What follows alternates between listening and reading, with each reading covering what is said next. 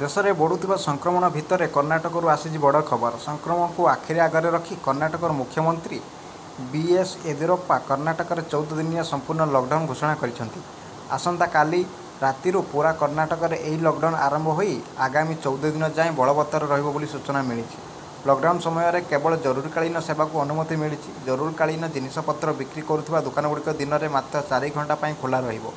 ଏଥିସହ ମୁଖ୍ୟମନ୍ତ୍ରୀଙ୍କ କହିବା କଥା ମେ ପହିଲାରୁ ରାଜ୍ୟରେ ସାବାଳକ ଲୋକଙ୍କ ଟିକାକରଣ ଆରମ୍ଭ ହେବାକୁ ଯାଉଛି। ପଇଁଚାଳିଶ ବର୍ଷରୁ ଅଧିକ ବୟସର ଲୋକଙ୍କୁ ମଧ୍ୟ ଟିକା ଦିଆଯାଉଛି।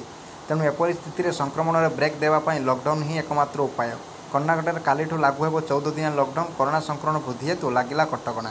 କର୍ଣ୍ଣାଟକର ବେଙ୍ଗଲୁରୁ ଜିଲ୍ଲାରେ ସଂକ୍ରମଣ ଉଦ୍ବେଗଜନକ ଭାବେ ବଢ଼ିବାରେ ଲାଗିଛି। ଗତ ଶନିବାର ଅଧିକ ସତର ହଜାର ତିନିଶହ ବୟାଳିଶ ଜଣ ନୂଆ ଆକ୍ରାନ୍ତ ଚିହ୍ନଟ ଥିବା ବେଳେ ସ୍ୱୟଂପେଶ ଜଣଙ୍କର ମୃତ୍ୟୁ ହୋଇଛି। ସେହିପରି କର୍ଣ୍ଣାଟକର ଦିନକରେ ଅଣତିରିଶ ହଜାର ଚାରିଶହ ଅଠତିରିଶ ମାମଲା ଚିହ୍ନଟ ଓ ଦୁଇଶହ ଆଠ ଜଣଙ୍କ ମୃତ୍ୟୁ ହୋଇଛି।